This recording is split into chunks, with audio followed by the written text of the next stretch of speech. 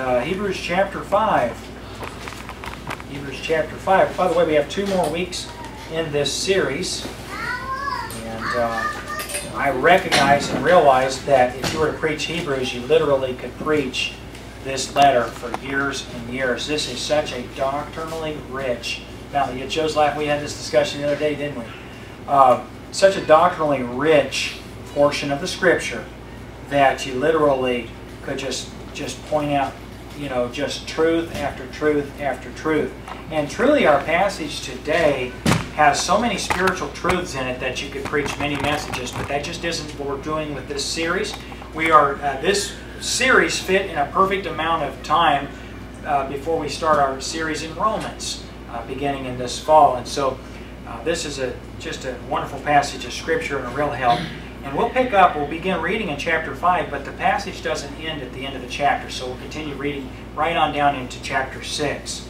And so I want to look at verse, uh, verse 8 in Hebrews 5, and then we'll read all the way down into chapter 6. Though he were a son, yet learned he obedience by the things which he suffered. And being made perfect, he became the author of eternal salvation unto all that obey him. Called of God and high priest, after the order of Melchizedek, of whom we have many things to say, and hard to be uttered, seeing ye are dull of hearing.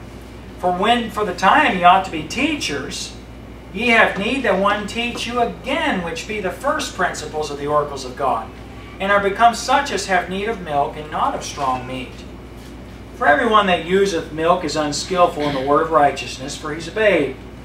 But strong meat belongeth to them that are full age, even those who by reason of use have their senses exercised to discern both good and evil. Therefore, leaving the principles of the doctrine of Christ, let us go on unto perfection, not laying again the foundation of repentance from dead works and of faith toward God, uh, of the doctrine of baptisms and of laying on of hands and of resurrections of the dead and of eternal judgment. And this we'll do, if God permit. For it is impossible for those. By the way, pay attention to verse 4. This is a passage where people really stumble and get off. For it is impossible for those who are once enlightened and have tasted of the heavenly gift and were made partakers of the Holy Ghost and have tasted the good word of God and the powers of the world to come, if they shall fall away, to renew them again unto repentance, seeing they crucified themselves the Son of God afresh, and put him to open shame. For the earth which drinketh in the rain that cometh oft upon it, and bringeth forth herbs meet for them by whom it is dressed, receiveth blessing from God. But that which beareth thorns and briars is rejected, and is nigh unto cursing, whose end is to be burned. All right, let's pray, and we'll ask for God's help. This is pivotal, important passage of Scripture to understand. Lord, we do ask for your help this morning, both with our understanding, but also with our hearts, Lord, to receive and apply truth. God, as we begin with our introduction, and we see how vital it is to have our senses exercised to discern good and evil, I pray that you would help us to have the sense to do that. We pray in Jesus' name. Amen. Well, this is our third warning passage. We've seen two warning passages so far, we began with the warning about drifting, drifting away or slipping. And the illustration was that the angels, which are higher than we are, will face fiery judgment. What's going to happen to us if we neglect so great salvation? We saw the warning, don't slip, to the Hebrew Christians. We saw the warning about don't harden your heart. Don't have a hard heart. Don't harden yourself to truth. You know, sometimes the circumstances in life we just get hard, don't we? We just get hardened to it. You ever seen something that used to move you, used to hurt you and affect you, and then you get hard? I'll tell you something, I can't watch the news uh, on a frequent basis because I get hard because of it. Or I just, if I don't have a hard heart, I get upset. You get upset about the news. Uh, this, this France thing last week, I can't think about it because I don't have a solution. I don't have an answer for it. I don't have, you know, I know what should be done, but I know it's not going to be done. And so I just can't think about it. Or just after a while, I just, you know, you, you get the, I don't even know what the numbers are now. There's 84 people that were casualties in climbing and uh, like 200 people hurt last week. And, and uh, you know, when you, when you begin to uh, think of those as faces and an individuals just you know but after a while when you hear that on the news every day it just kind of becomes yeah you know happened today happened you know some countries we hear about it happening and it's just like yeah that's what happens there. And we don't even think about it. We get kind of hard you know i'm talking about? A little little dull to it. And the scripture warns us about when we're not right with the lord about just kind of being like yeah that's the way it is. And having a hardness about us and hardening our hearts. Friend you and i want to have tender hearts.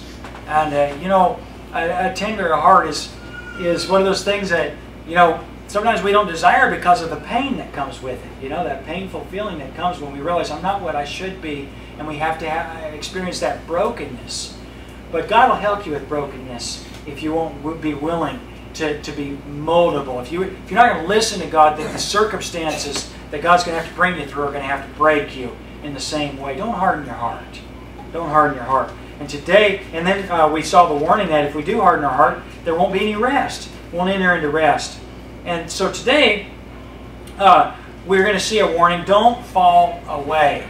From chapter 6 all the way really to chapter 10, what we see is that the author of Hebrews addressing the behavior that the Jewish believers, because of circumstances, are not are because of circumstances are responding in the wrong way to their circumstances, that they're actually falling away.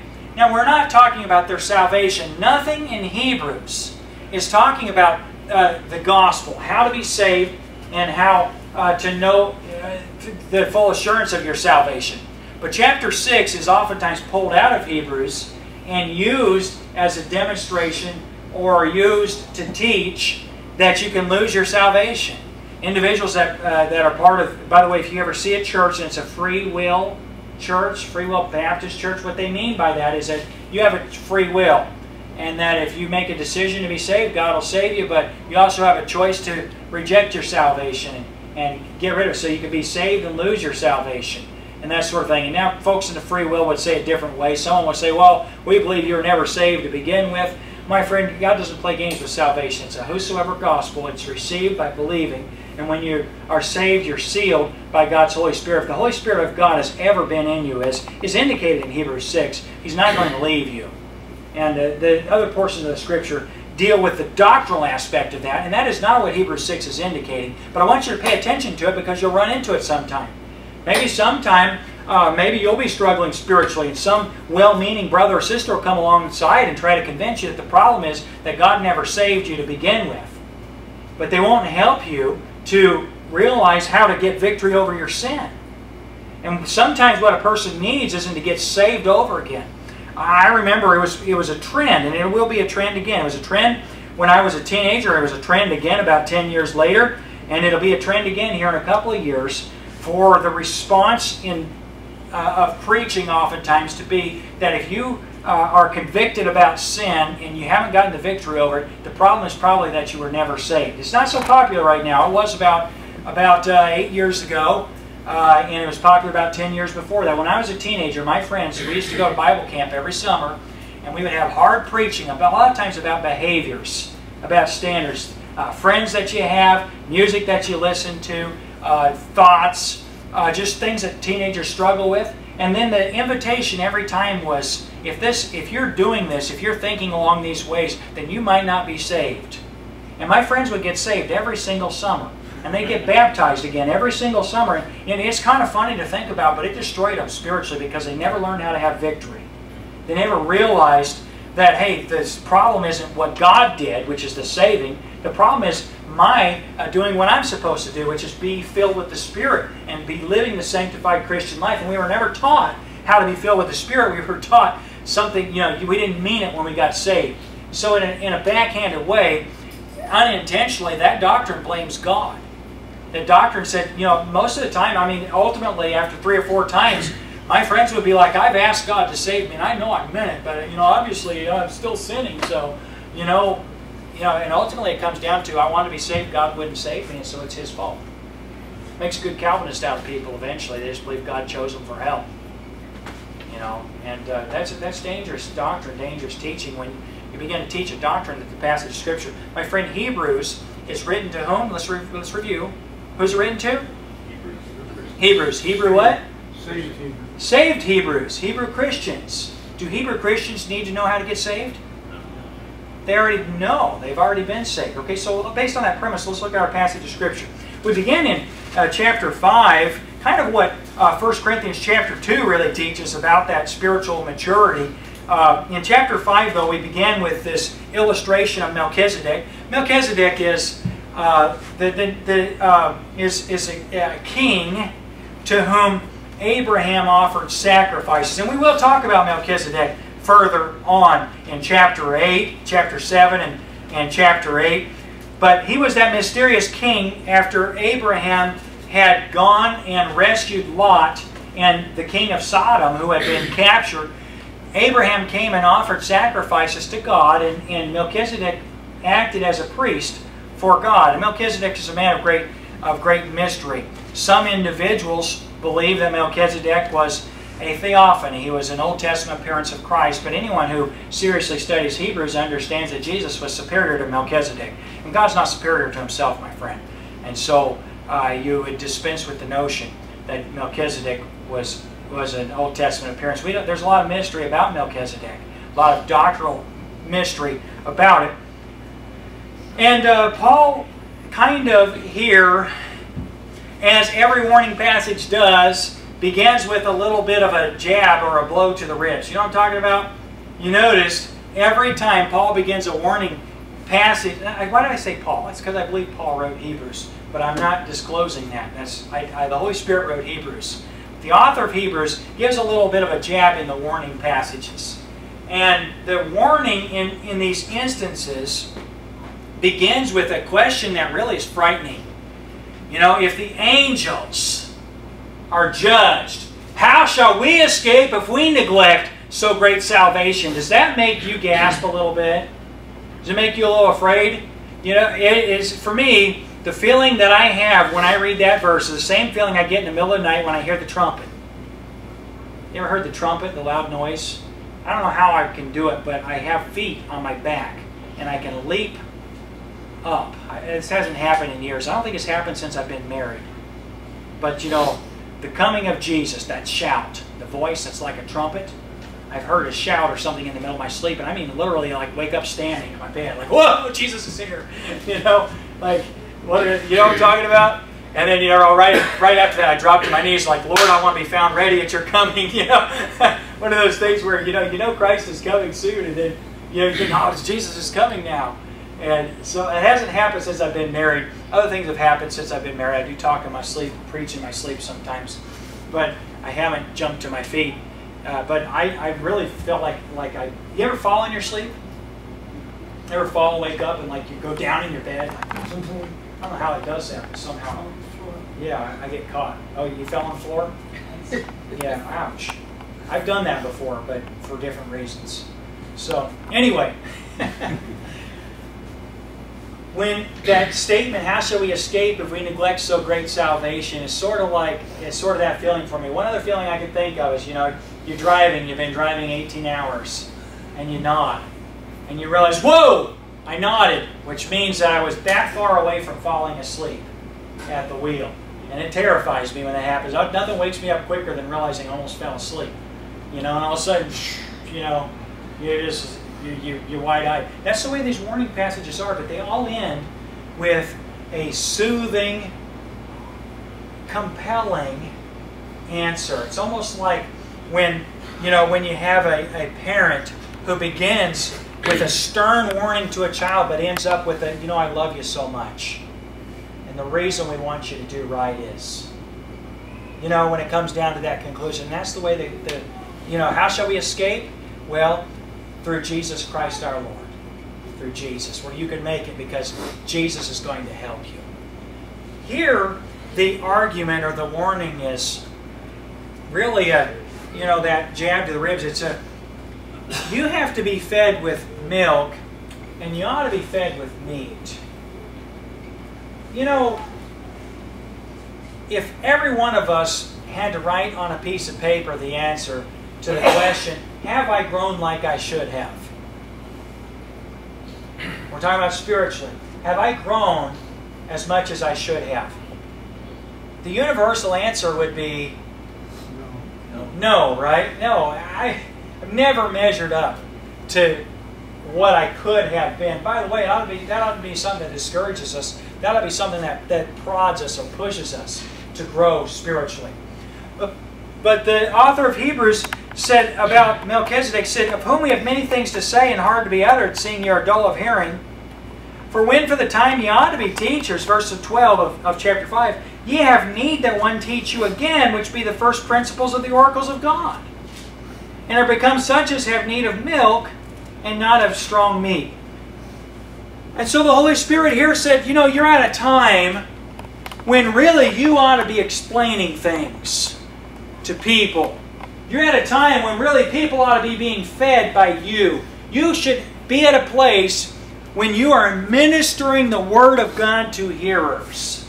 And I love the universality of this. This is a passage of Scripture when I'm trying to encourage people hey, we need Sunday school teachers.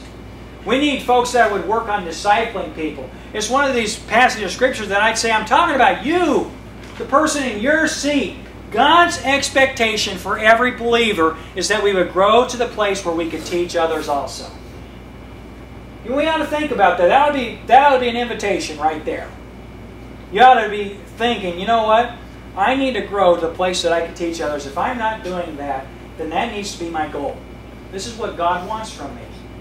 Okay, so now, at a time when you ought to be teachers, you have to be able to milk. Here's why. For everyone that useth milk is unskillful in the word of righteousness, for he's a babe. Now let's go down to chapter 6 and uh, verse 1. We saw that strong meat is for people that have their exercises, uh, have their senses exercised to discern good and evil.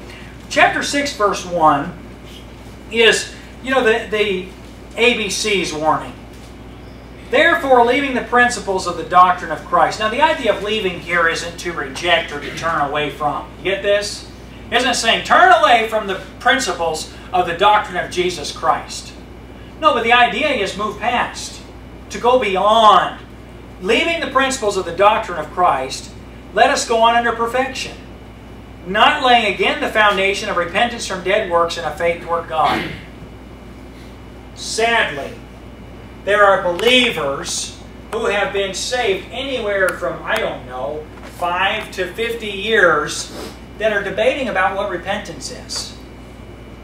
They still are debating repentance. Some folks, repentance. We don't need repentance. Other folks say you got to be repent in order to be saved. And none of them can just go to the Bible and say, this is what repentance is, this is what it means, and this is what it is in context of, of turning from dead works to faith in Jesus Christ. And they're not even settled on the simple matter of salvation. Friend, I just want to tell you something.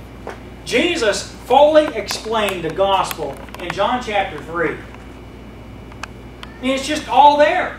The gospel is complete in John 3, and literally you could read that in about two minutes' time. And there are believers who debate the complexities of the gospel 20 or 30 years after they've been saved.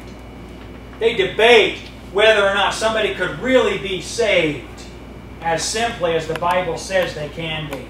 20, 30, 40, 50 years afterward. And the author of Hebrews said, listen, you're not brilliant for hashing over simple things and complicating them. That's childish. That's childish. Listen, Christian, are you struggling with knowing whether or not you're saved? It comes down to being as the matter of assurance comes down to really being as simple as knowing what the gospel is and whether or not you've received it, and knowing why it is that you don't feel like you're saved because of sin in your life uh, harming your fellowship. It just really comes down. It's that simple. And if that's something that's a debate all the time, somebody visits church pastor, I want to know what you believe about the gospel. Right away, I know there's somebody who wants to be divisive. They want to argue. They want to split hairs. They want to debate something that's settled, that's simple. And uh, it's not a mark of maturity, my friend, it's a mark of immaturity. What else? Well, it talks about baptisms. You know, uh, you know, uh, uh, verse 2, the doctrine of baptisms and of laying on of hands. You know, they want to debate about whether, you know, what mode of baptism there is. Well, my friend, there's one mode of baptism. It's pretty simple. It's understood in the Word baptize, baptize. And you know, there's a debate about it. There's Christians that literally are just going back and forth and back and forth. You know something? I rejected denominationalism a long time ago. And it's no longer a debate for me. It's fascinating to me that I hear friends of mine uh, who talk about lack of scholarship or lack of Bible knowledge with believers, and they, and they commend the Presbyterians for being scholarly. You know what the Presbyterians talk a lot about? the things that are right here in, in uh, Hebrews chapter 6, verses 1 and 2. They want to debate basic doctrines. It's like you still haven't arrived at a conclusion. It's still something that you just got to hash over and, and follow a man's systematic viewpoint. And friend, when you get those things settled, the idea isn't move away, it's move on. Settle it. Move forward for crying out loud. Uh, of the resurrection of the dead. Uh, sadly, believers don't know future events. They don't understand future events. You know, the debate at the church at Thessalonica was whether or not believers who died in Christ were dead or alive. They didn't know whether or not there was a resurrection. And the, the, answer is simple. If we preach that Christ be risen from the dead, how say some of you there's no resurrection of the dead? If Christ be not risen, our faith is in vain. You're yet in your sin. We're false teachers. It's pretty simple. Yes, there's a resurrection. Settle it. Move on. That's the idea. Uh, eternal judgment. Is there a hell? You know, just a couple of years ago, was it Rob Bell that wrote the book uh, Love Wins and proposed that there probably isn't a hell? You know, and it, it sparked debate. I'm sorry, but there's no debate. There's eternal judgment, friends. Settle it. Move on. Rob Bell's not getting my time. I'm not going to write a book because he wrote a book. You know, you get what I'm saying? You know, sometimes we think, oh, to be scholarly, you got to answer the scholar. No, I'm sorry, but that if for somebody that doesn't know whether or not there's a hell, I'm sorry. I hope someone wins him. But it's not going to be a debate in our church. We're not going to talk about, going, you know, Rob Bell says there's no hell, so I mean, you know, he's a legit scholar. I'm sorry, he's not legit. The Bible says there's judgment. It's not a debate. Get this, Christian? So settle and move on. You know, uh, lost people, hey, they need to know whether there's eternal judgment. Show them from the Bible and then move on. It's the idea. Move on, leaving the first things. These are simple matters. And yet, the rebuke to the Hebrew Christians is that there is a weakness in their determination to follow Jesus Christ. And during suffering, they're finding out that they really don't have the mettle. They don't really have what it takes to stick with Jesus Christ. And one of the diagnostics for the problem is that you think that it's religion. You think that it's just, you know, how exactly are you saved? What exactly is the eschatological position that I should embrace? What exactly, you know, is required as far as baptism? And the believers are all about debating theology. Get this? but they're not about practicing their faith. They're not moved on to a place of maturity. It is not a mature thing to debate, Christian. It's a mature thing to settle and build, to add to your faith on those things. But those are foundational. And that's what, what Hebrews 6... Isn't it interesting that, that these matters are always, always, always, always matters of debate? There's always books being written about these matters. There are always people determine, trying to decide what the truth is about these matters. And yet, the Holy Spirit in Hebrews just indicates, hey, these are fundamentals. These are basics. Get them down, move on. You know, when you teach a guy to play basketball, you teach him fundamentals first. A layup is the first thing a guy needs to learn to do in basketball. If you're right-handed, or if you're going, it doesn't matter if you're right-handed or not. If you're if you're shooting on the right side of, of the, uh, what do they call it, the hoop, basically your left foot goes down on the last block where you stand on the, I can't remember the name, the, the foul line, whatever. So your left foot, you, you go off the left foot, go up with the right hand, you put the ball on the top right corner of the square and it goes in. And it goes in every single time. Any good coach who teaches fundamentals says that you should never miss a layup. And it's really true. I got my layup down in high school to where it was 100% shot. When I'd take a layup, I'd make my layup. If you, even if you leave right, you know, unless LeBron James is coming up behind you, you're not going to get blocked. If you're on the on the left side of the hoop, you leave from the right foot and you go up with the left hand. You put on the left top corner of, of the square on the back of the hoop, and the ball goes in. That's fundamental. There are fundamentals for shooting free throws. Uh, somebody needs to teach Andre Drummond. There are fundamentals for, for shooting free throws. And if you shoot a free throw the right way, your percentage is extremely high. And if you practice, it can go, it can go through the roof. My cousin uh, used to practice free throws, and he'd shoot in free throw competitions. And he could shoot like, he basically had a percentage in high school like Steph Curry has. So they're fundamental. A fundamental is something that's basic. You get settled. Me just tell you something. Once a guy knows how to do a layup, he knows how to do a layup. You know, if if after four years of teaching a guy how to play basketball, you're still teaching him layups, he's going to get bored and find a coach. Once he's got his layup down, hey, we're going to do drills. What are we going to do? We're going to practice layups. Yeah, he's going to find a team to play on where he can learn something beyond the layup. You know what I'm saying? Yeah. In other words, those things are fundamental. Those things are good. If you don't have them, then nothing else matters. But the fact of the matter is, is that if it's fundamental, then it's ought to be settled. It's not, well, I wonder how you should do it. You know, let's reinvent it. Let's do layups on the right side with the left hand. No, we're going to do it with the right hand on the right side. We're going to do it with the left hand, the left side, because it's easier, uh, it's harder to block, okay? That's the only reason to do it that way. That's, there's, there's no debate for it. Get this? Okay, now, having established that, in verse 3, the Bible says, This we will do if God permit. What? Verse 4. Well, going on, leaving the principles. Verse 4. It is impossible, for it is impossible. Notice in your Bibles, you see the words it is there? See the words it is? And you notice they're in italics? You know what that means? It means those words are understood to be part of the word impossible. To, to translate one word in the Greek requires three words in the English.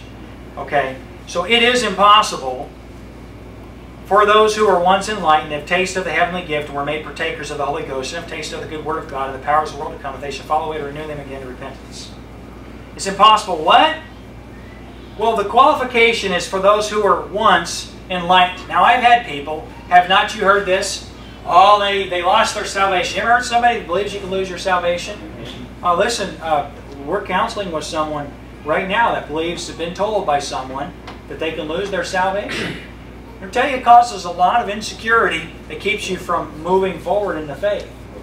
So I've heard people say, well, you know, they were once enlightened, and the idea of once enlightened is no longer are.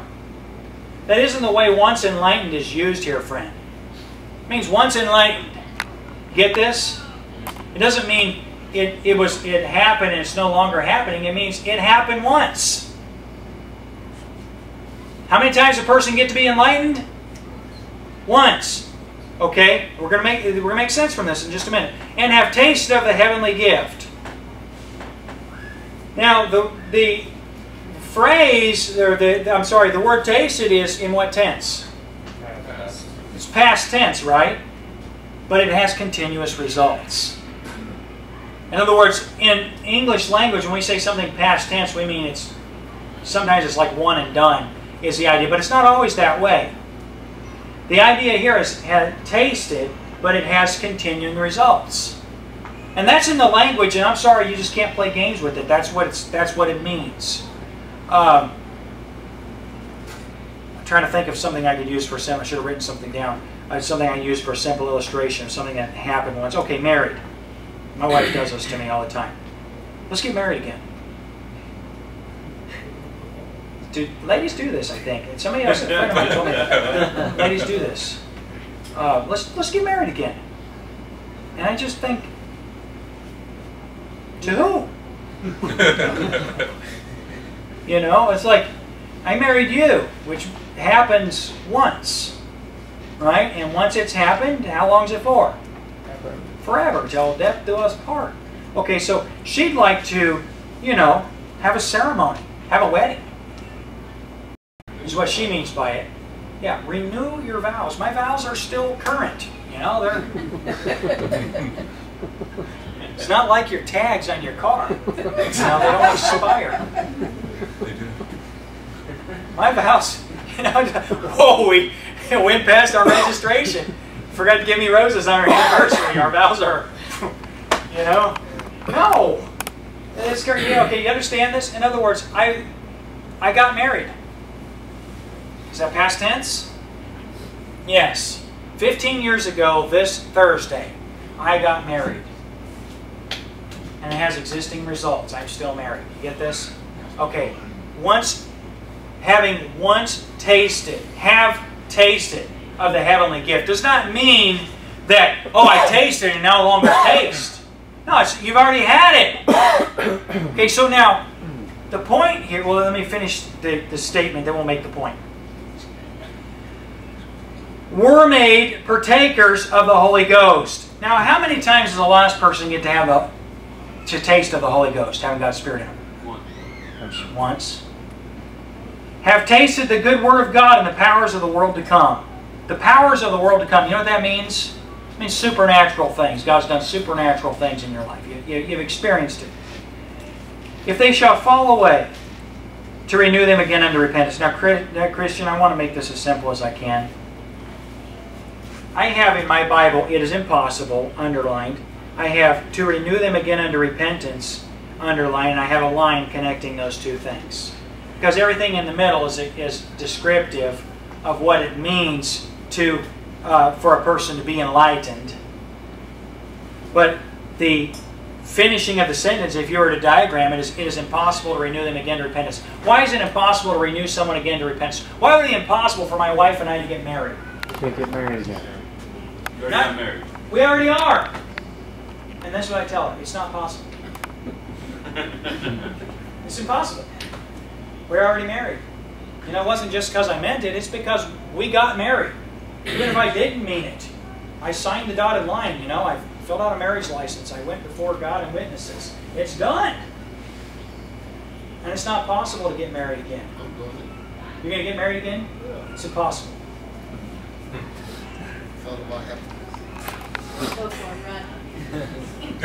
Can't do it.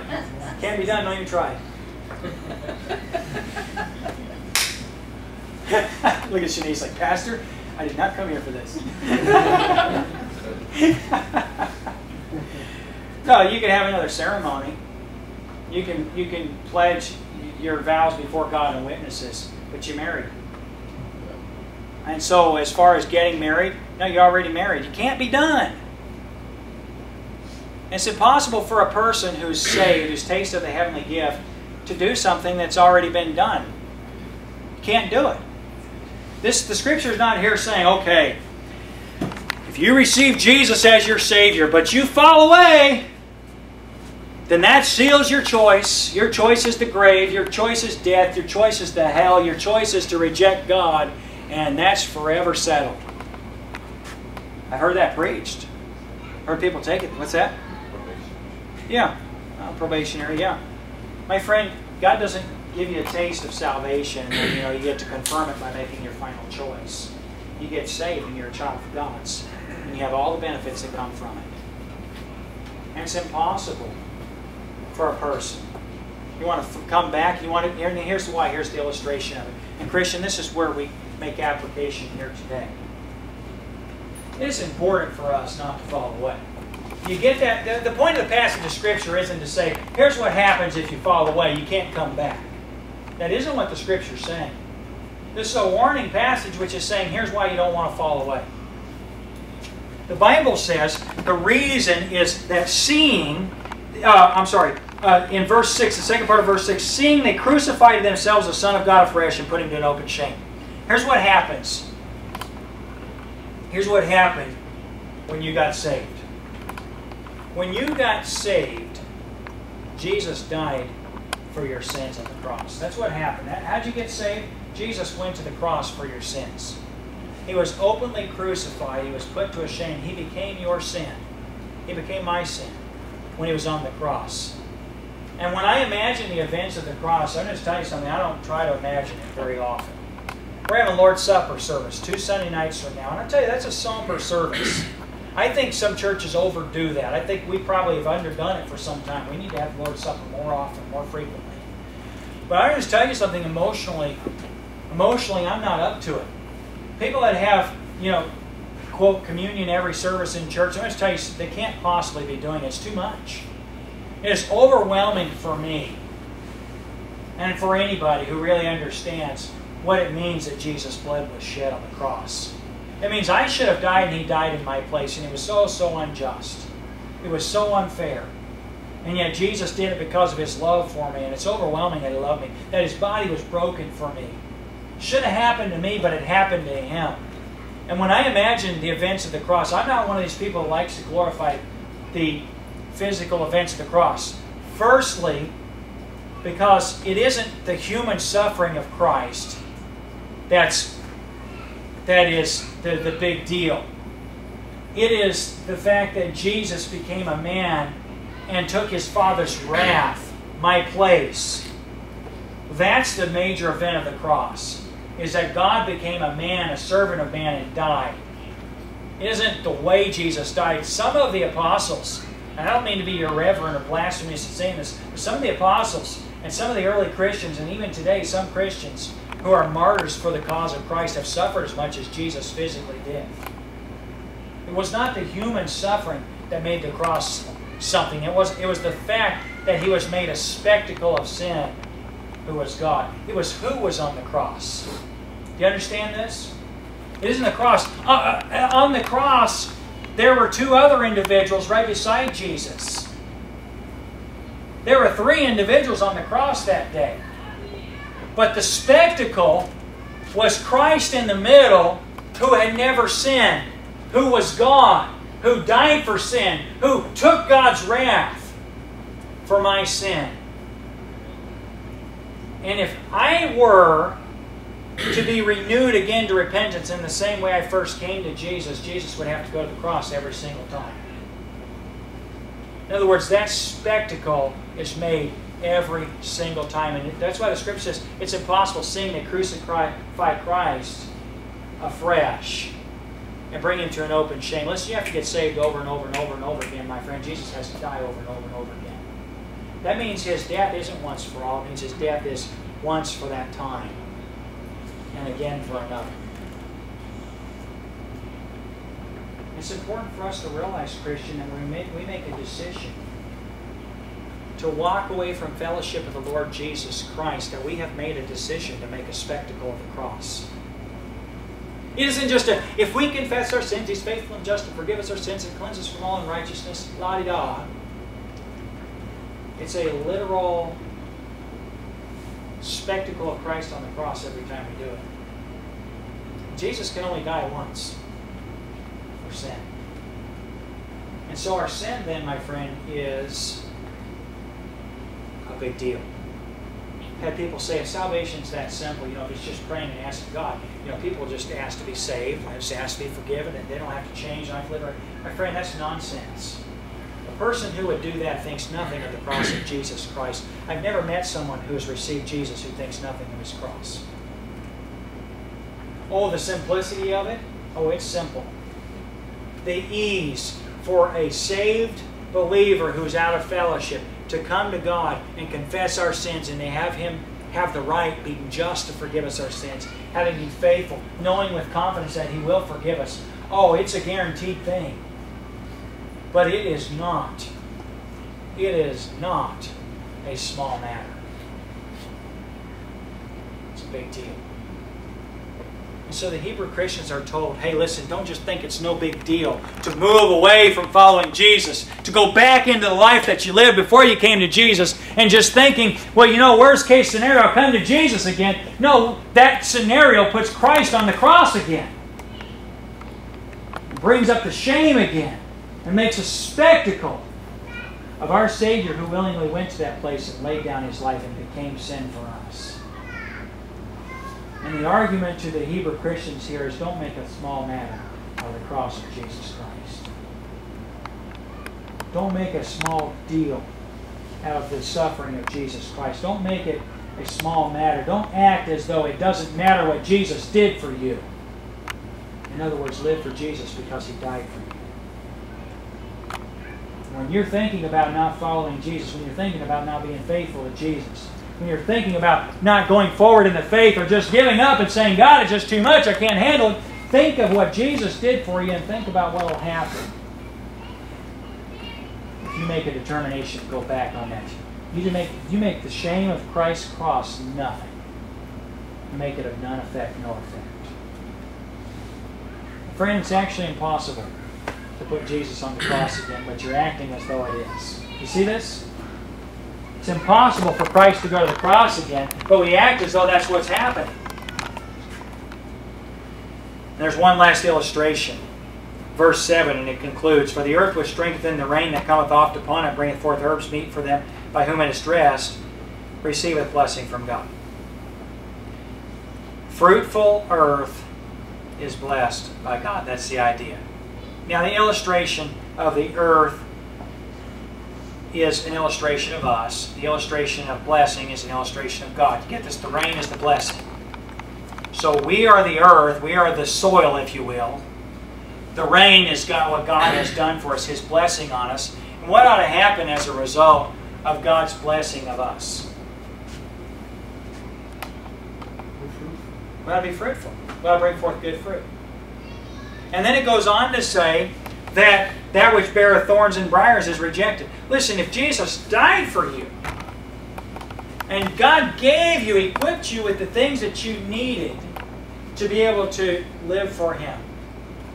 You know, this morning in Sunday school, we saw Paul in, in prison at Rome living for Jesus. Now, I haven't been called to be in Rome, and if I we, we pointed out this morning, if we were trying to be like Paul, we'd all try to figure out a way to go to jail. God's called us all to serve Him, to, to live for Him in the way that He's called us to serve Him. We're not all supposed to be like Paul. But for Paul, it was prison. He was able to glorify God by being in prison.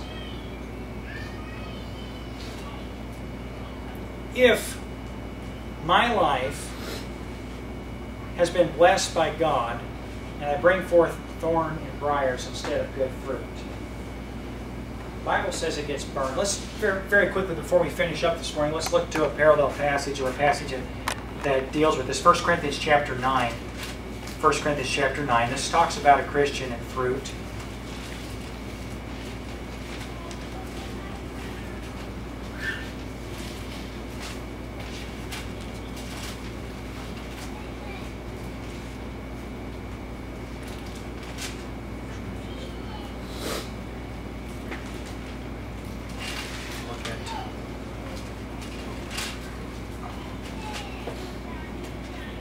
In verse 27, Paul said this But I keep under my body and bring it into subjection, lest that by any means, when I have preached to others, I myself should be a castaway. Is Paul here teaching? Let me ask you a question. Is Paul here teaching that even though he's preached Jesus for others, he himself could be lost? No. What does castaway mean? Set aside. Set aside, not just set aside, thrown away, right? Okay. Let me ask you a question then. Based on 1 Corinthians 9.27, the word castaway there is the same as the word rejected in verse 8 of Hebrews chapter 6. Is the concept of being cast away the concept of being sent to eternal hell and judgment? No. No, it's talking about your life that you live for Jesus. If you read, if you read in 1 Corinthians and you look at the rewards for serving Jesus Christ, we see that the works that we do are going to be thrown into a fire. And everything that's gold, silver, precious stones is going to make it through the fire, but everything else, the wood, hay, and the stubble, is going to be burned.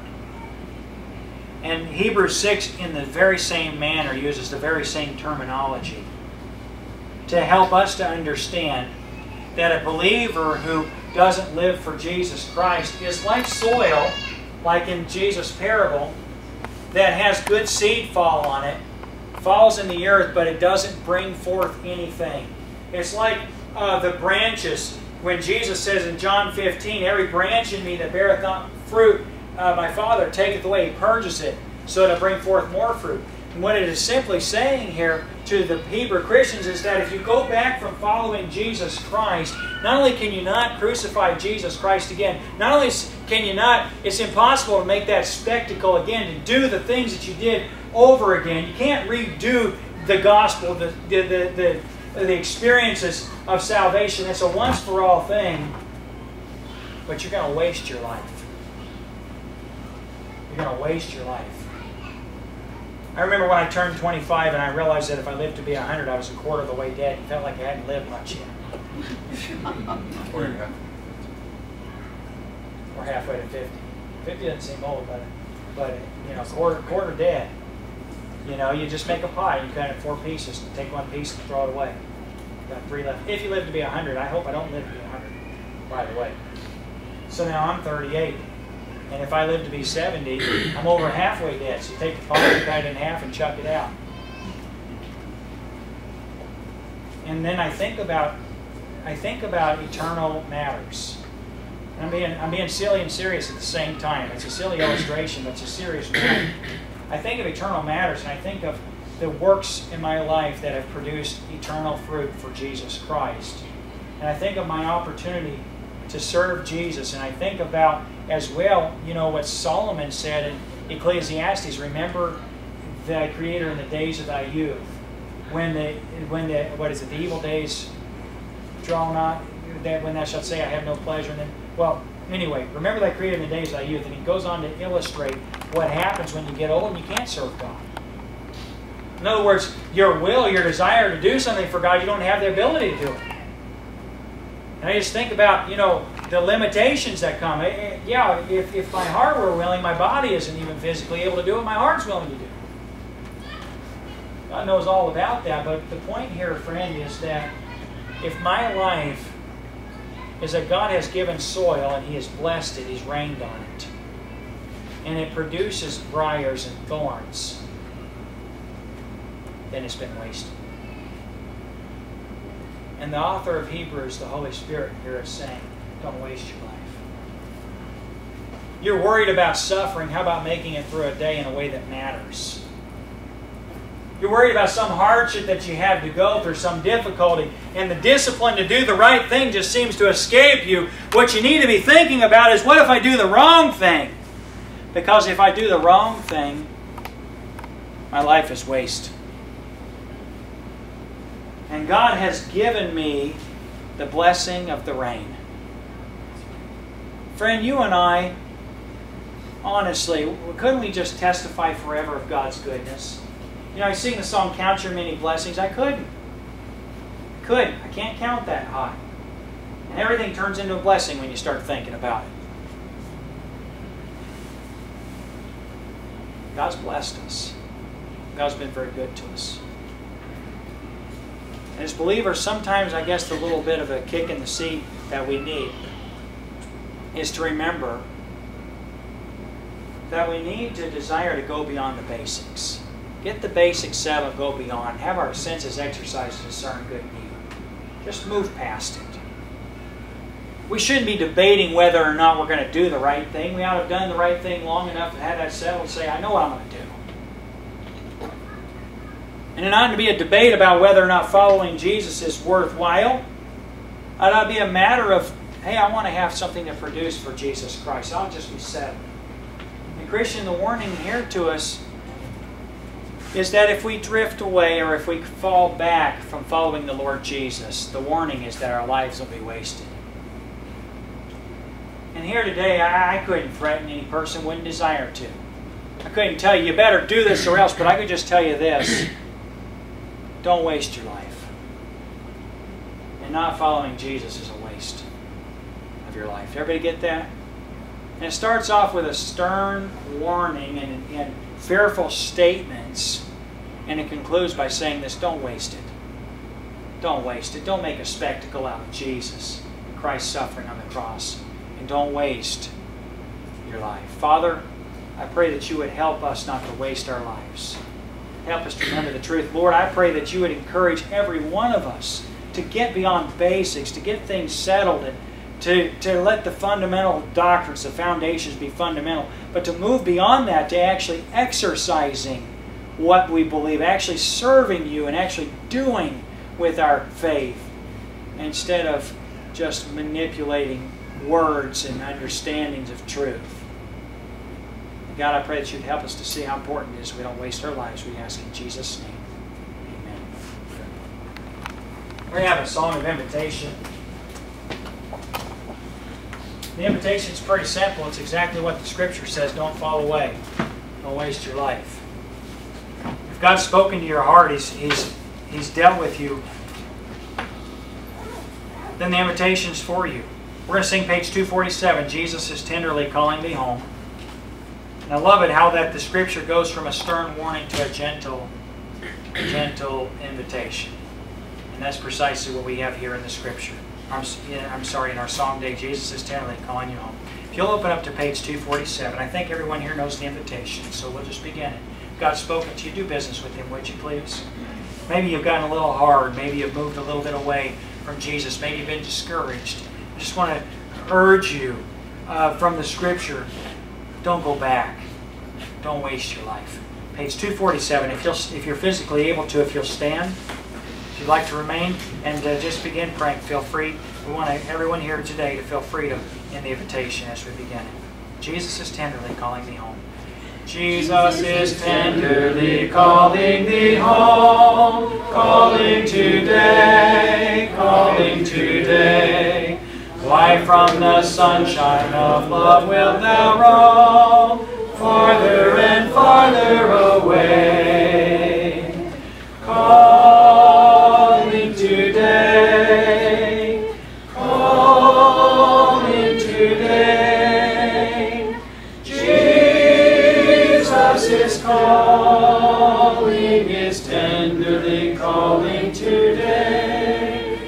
Praying while you sing. If God's spoken to you, hey, don't don't don't neglect the opportunity. Take advantage. Do business with the Lord while we sing the second verse. Jesus is calling the weary to rest, calling today, calling today. Bring him thy burden, and thou shalt be blessed. He will not turn thee away. Calling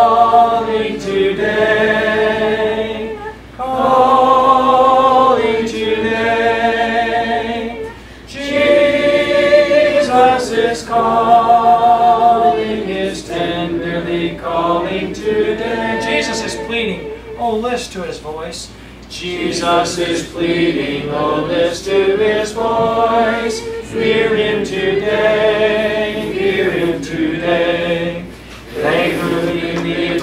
his name shall rejoice. Quickly arise and away. Calling today, calling today. Jesus is calling, is tenderly calling today.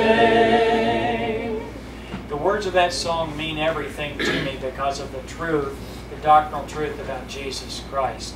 Isn't it amazing that we who are wholly undeserving of God's grace and favor would have a Savior who calls to us when we should really be driven away from Him on the basis of what we've done. Instead of saying, Get away from me, He's saying, Come to me. And then He calls us. If you ever have realized how much God loves you and how tender He is, and it's just, it's astonishing to me. I'll tell you a story as, as we finish up. I remember my 13th birthday uh, very, very vividly. We got up early in the morning to crush cars, and uh, we were going to take off the, the afternoon. We used our semi truck for air to use for the impact gun, take tires off of cars when we didn't do it by hand. My dad told me to go start the semi truck up. It was the, again my morning of my 13th birthday, and uh, the semi truck was parked next to our little camper, was a slide-in truck camper, and it was hooked up to the camper so they could use the battery bank on the semi. And the semi had to be started from outside, so you turn the key on, then you go outside and jump a solenoid across because it was, you know, had special modifications to it, you know. And I went to start it, and the semi was in gear in in low, low gear. It was about this far away from the camper. And my mom was inside cooking breakfast. My brother was in there. And the semi started up and drove through the camper. Drove over a truck bed and went down the hill and I was chasing it and my mom had run out of the back of the camper, didn't go out the door because there was no door anymore. But ran out of the back of the camper and was trying to stop me. And I remember just being devastated beside myself. I destroyed our camper. I ran a semi over a truck and uh, you know caused some terrible damage. And I remember thinking, Dad's gonna kill me. He's gonna kill me. You know. And I remember my dad saying, I'm not mad about that. And uh, you know just comforting me instead of scolding me. And you know, that's the way our Heavenly Father is to a much more extreme degree. Uh, May it's probably my dad's fault that you know that, that I ran the truck over the camper on my 13th birthday. He should have had a key switch where you could start it inside, or not had a 13-year-old start a semi truck. You know, but uh, the reality of it is, is God's never at fault. He's never done wrong, and if we've moved away from Him, we're the ones who's moved away, and we deserve really to be smashed or destroyed or devastated. And yet our Heavenly Father just calls us, says, come back. You know, He doesn't tell us it's not our fault, but He says, I'm not angry, I want to forgive. I already took care of your sin. I already suffered for you. I already died for you. There's nothing to be done there. You're forgiven. And that's God's attitude, His manner toward us. Well, we've dismissed with prayer, and so uh, let's dismiss one more time and we'll, we'll end. Father, thank you so much today. Thank you for the truth of the Scripture. Thank you for your gentleness and tenderness toward us, your kindness. And I just pray that you would help us to run to you and not away. In Jesus' name we ask it.